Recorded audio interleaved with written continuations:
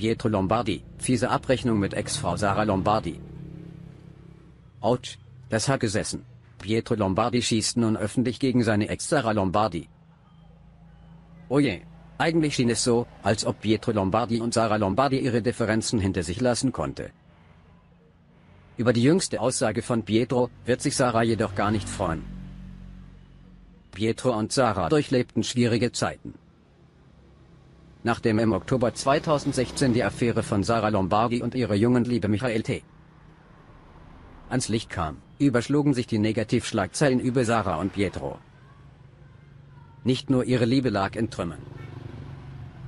Die beiden lieferten sich auch einen erstklassigen Rosenkrieg in der Öffentlichkeit.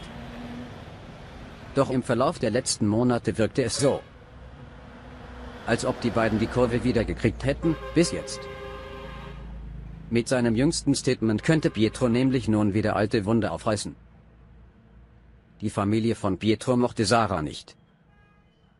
Meine Eltern und Sarah waren jetzt nicht so die besten Freunde. Da hatte es nicht so gefunkt. Das hört sich jetzt böse an. Aber meine Mutter und mein Vater haben immer gesagt, pass auf bei der Frau.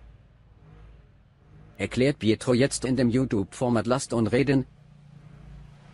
Mädels. Definitiv harte Worte, die an Sarah sicherlich nicht spurlos vorübergehen.